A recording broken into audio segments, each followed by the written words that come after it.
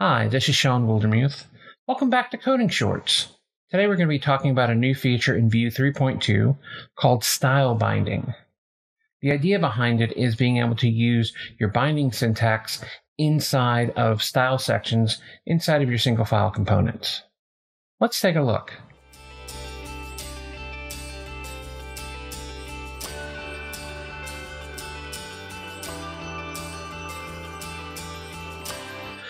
So, one of the new features that is now supported is the idea of doing bindings in styles.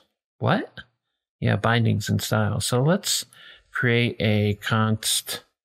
Fave color is ref, let's say red in our case.